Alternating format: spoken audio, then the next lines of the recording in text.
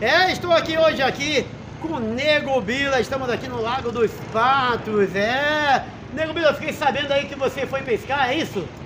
Foi verdade, foi lá no Pantanal. Fui eu, Chocolate e o Laércio. Nossa, você, Chocolate e Laércio? Não é história de pescador não, né? Não, é nada, é nada. Pra você ver, o Chocolate catou um lambari de 15 quilos. O Laércio catou uma tilápia de 70 quilos. E eu, e eu, pra não ficar por trás, cara, eu peguei um pintado, tinha 180 quilos, cara. E além disso, mais um urso polar. Nossa, urso polar só tem no Polo Norte. Isso não é história de pescador, meu? Além de pescador é mentiroso? Não, por isso mesmo, só aqui no Polo Norte. Por isso que eu cheguei, catei ele pelo colarinho e falei assim pra ele: Meu, o que, que você tá fazendo aqui?